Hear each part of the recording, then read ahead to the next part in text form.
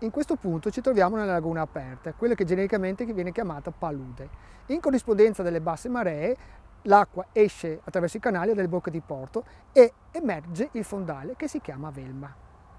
Possiamo vedere, spaziando uh, all'orizzonte, il campanile a base quadra di Torcello, a sinistra il campanile pendente di Burano e davanti a noi in corrispondenza la penisola del Cavallino. Si identifica anche il grattacielo che vediamo è il grattacielo di Piazza Mazzini e quello invece è il grattacielo di Piazza Drago che identificano l'abitato di Isolo. Il periplo che vediamo identifica la laguna nord di Venezia.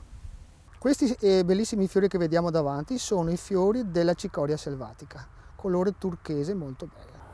In questo punto il paesaggio lagunare cambia completamente, siamo passati da un'area lacustre aperta a un'area in cui possiamo rivedere ancora delle piccole isolette che si chiamano barene. Sono delle isolette sempre emerse dall'acqua, ricoperte di vegetazione che sopporta la salinità. Una curiosità, nel 1966 durante l'alluvione questo agene è stato eh, demolito per far defluire l'acqua del Sile verso la laguna. Oggi una chiavica permette il passaggio dal fiume alla laguna e dalla laguna al fiume. Qui termina il nostro itinerario.